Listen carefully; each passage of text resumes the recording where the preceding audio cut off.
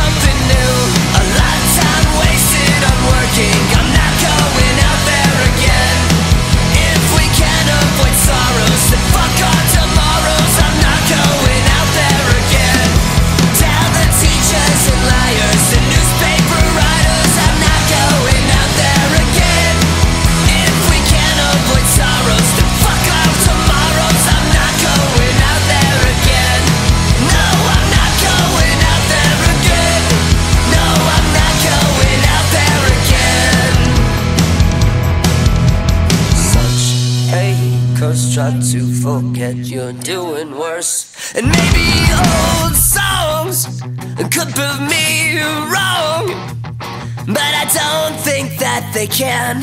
How could I understand back then?